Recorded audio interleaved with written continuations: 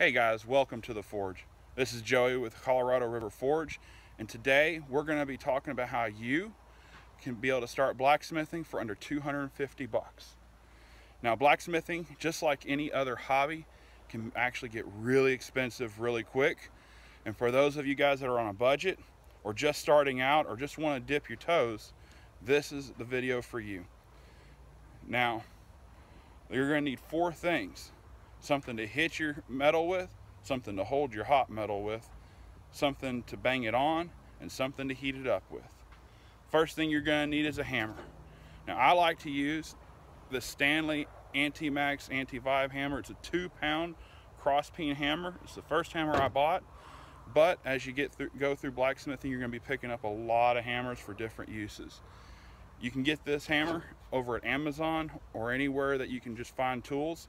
Um, there'll be a link in the show notes for all the materials that I mentioned. Um, you can get them at Amazon and you'll be able to just click right over to get them.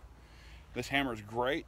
It allows you to, it's light enough to do take care, um, to be able to handle all day, but it's heavy enough to get the job done for everything that you need. It's a great all-purpose hammer. Now, if you can't afford a hammer, you might be able to find stuff at estate sales, or you could even restore stuff if you've got the right tools. And I'm gonna go over how to do that in a later video. The next thing you're gonna need are tongs. Now you can, a lot of blacksmiths make their own tongs, but you still need something to be able to start out with. And what I started out with are these Picard Wolf's Jaw tongs. Um, they've been a great all around set of tongs, but as I've gone on and started creating other things that I need, I've had to start making my own. Um, if these tongs cost about 50 to 55 bucks, free shipping on Amazon if you got if you're a Prime member, and if you can't afford something that expensive, you could also just use a good old-fashioned cheap pair of vice grips. They're great. They keep your hands away from where it's hot and allow you to hold and allow you a better grip a lot of times than any set of tongs you could get. The, set, the third thing that you're going to need is something to heat up your, your metal with. And for that, you're gonna need a forge. Now this is the forge I use. I built this myself. Um, it does a great job for pretty much every job I need. Um, cost me about 100, 150 bucks to build from start to finish. Um, I'm gonna do a video on how I built that forge um, so that you guys that are um, wanting to build one and don't really want to go out and buy one, you can build it yourself. And basically what it is is just fire brick, refractory cement, and a burner. Um, it's a, it does, like I said, does a great job for basically everything that I need it to do.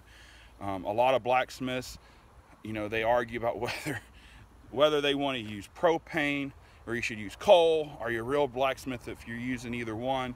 If you're using coal, should you use coke or, you know, all kinds of things personally, it's whatever you can afford to be able to have and whatever you can just to get you going. And from there, you can just make your preferences from there. Now, the last thing you're going to need is an anvil. And that's going to be your biggest uh, your biggest wild card. Anvils brand new can range anywhere from a few hundred bucks to over a thousand dollars if you buy them brand new or even used. Um, the best place to get one is going to be is going to be either at state sales if you're looking for something new or something used or garage sales. Craigslist has a lot of different things. The other thing that you could look at using, a lot of blacksmiths start out using, are railroad um, railroad rails. Um, just you can buy a section of that. You can usually find those on Craigslist. You can look around on Facebook, online. I mean, there's all kinds of places that you can look. That's going to be your biggest wild card. Um, I've seen anvils made from those railroad um, rails ranging from 50 to 100 bucks. Um, so that's that's what I recommend. The anvil I've got was given to me by my father-in-law, um, and my dad's got one that he's giving me as well. So um, ask around. You might have a family member or friend um, that might have one for you that they can give give to you. The last thing you're going to need um, are going to be a good cheap pair, a good pair of gloves. These are just old garden gloves. That's what I started out with. They're about two, three bucks at Lowe's. Um, you can also get a decent pair of welding gloves, which work a little bit better, uh, for about 10 bucks over at Lowe's. Um, there's a lot of other things that you could get, uh, but that's just the basics of what you need to get started. Um, if you have any questions or comments, leave them down below. If you like th these sort of videos, let me know.